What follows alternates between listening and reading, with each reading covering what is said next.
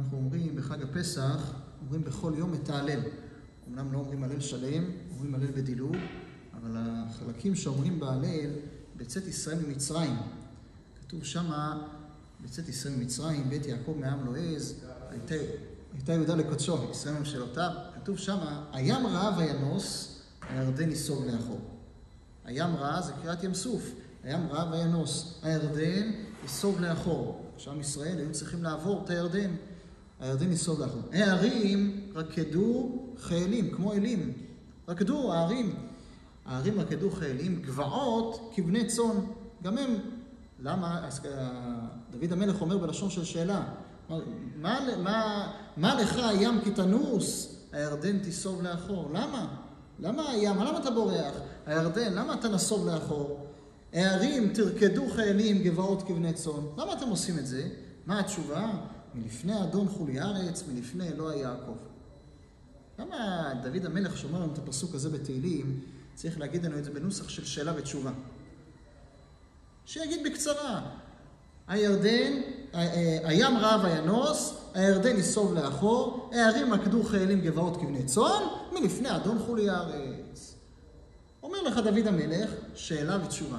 מה לך הים כי תנוס, הירדן תיסוב לאחור, הערים תרקדו חיילים, הוא עונה לך תשובה, מלפני אדון חולי. למה הם בורחים? מלפני... בשביל מה צריך להגיד דבר כזה? שאלה, תשובה, תגיד בקצרה. אתה רוצה להגיד שהירדן ייסוב לאחור, שהים רעב וינוס, תגיד, לא, תגיד בקצרה את הסיבה. משל למה הדבר דומה? אדם, מלך בשר ודם, יש לו שרים שנמצאים סביבו, משרתים אותו, מתייעץ איתם, יושבים איתו, יושבים איתו ביחד. הרגש שלהם ממנו זה מאוד מאוד דל. הם לא, לא מרגישים פחד כשהם ניגשים לדבר איתו. למה? כי הם ברמה גבוהה, בדרגה גבוהה, אז הם מרגישים כמו ידידים, כמו חברים. כמובן, יודעים שהוא סוף כל סוף הוא מלך, אבל אין, אין, אין להם את הפחד ממנו. מי יש לו פחד מהמלך? התושבים, האזרחים, האנשים הפשוטים. הם, רק כשאומרים, המלך מגיע, פחד גדול. רוצה להיפגש עם המלך, הוא מכין את עצמו נפשית, גופני, הכל רק להיפגש עם המלך, מתלבש כמו שריך, לא יכול להירדם בלילות, מחר אני נפגש עם המלך. מה, למה זה ככה וזה ככה? פשוט. מי שמרגיש קרוב יותר, בגלל שהוא גדול יותר, ככל שהוא גדול יותר, הוא מרגיש קרבה גדולה יותר. קרבה גדולה יותר, אז הפחד שלו קטן יותר. אבל מי שמרגיש שהוא קטן, אז המרחק שלו גדול, המרחק שלו גדול, הוא מרגיש פחד. לכאורה, דוד המלך אומר, יש לי שאלה. הים ראה וינוס, הירדן ייסוב לאחור. מי נבהל בעוצמה יותר גדולה? הים או הירדן? הים. הים ראה וינוס. וינוס זו בריחה. הירדן ייסוב לאחור. סך הכל מסתובב, עושה סיבוב קטן, עושה פרסה וחוזר בחזרה. אבל לא וינוס, אין כאן איזה בריחה. אחר כך, הערים רקדו חיילים. הר זה גדול יותר. גבעה, גבעות זה נמוך יותר, קטן יותר. הערים מה? רקדו כמו אלים. קופצים מרוב פחד. ואילו מה? הערים רקדו חיילים, גבעות כבני צאן, כמו הצאן, טיפה זזים, רועדים.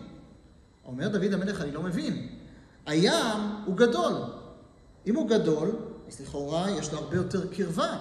יש לו יותר קרבה, אז הפחד שלו צריך להיות הרבה יותר נמוך. הירדן, שהוא קטן יותר, אז הקרבה שלו היא פחות, אז הוא צריך לפחד עוד יותר.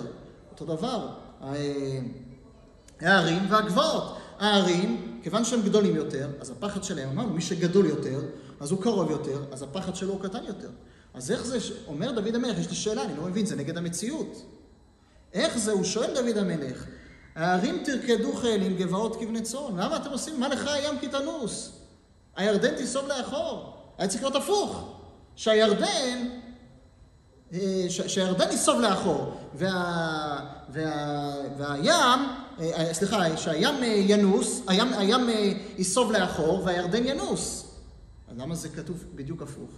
אומר לך דוד המלך, אתה יודע מה התשובה? כי כל מה שאתה מכיר את המושג הזה של גדול וקטן, זה בבשר ודם. אבל מלפני אדון חולי ארץ, מלפני אלוה יעקב, כשהפחד הוא מול בורא עולם, זה בדיוק הפוך. מי שגדול יותר, מפחד יותר. למה? כי מי שגדול יותר יודע כמה הקדוש ברוך הוא גדול. הפחד שלו הוא פחד הרבה יותר גדול. מישהו קטן יותר, הוא לא מבין הרבה. כמו ילד קטן, כמה, כמה השגות הוא יכול להשיג, כמה השכל שלו יכול לקלוט. אז לכן הפחד שלו קטן. זו התשובה שאומר דוד המלך. זה לא סתם הירדן ייסוב לאחור, הם רקדו חיילים לפני אדון חולו. בא להסביר לך, איך זה? נגד ההיגיון, נגד השכל, אז הוא אומר לך, זה התשובה. כיוון שזה מלפני אדון חולי ארץ, מלפני אלוהי יעקב, הפחד שמה בשונה מבשר ודם. לכן הירדן בסך הכל ייסוב לאחור, אבל הים, וינוס, פוחד פחד גדול. הערים רקדו כחיילים, פחד, גבעות כבני צאן, אין להם משמעות, לא מבינים כל כך את המשמעות. זה מלפני אדון חולי ארץ, מלפני אלוהי יעקב. ברוך אדוני לעולם, אמן ואמן.